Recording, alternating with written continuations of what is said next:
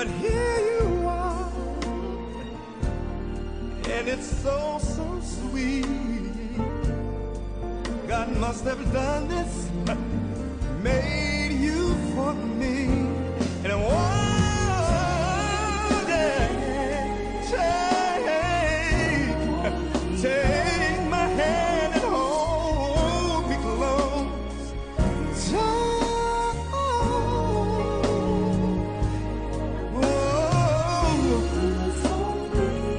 said you to me for you. Sit together.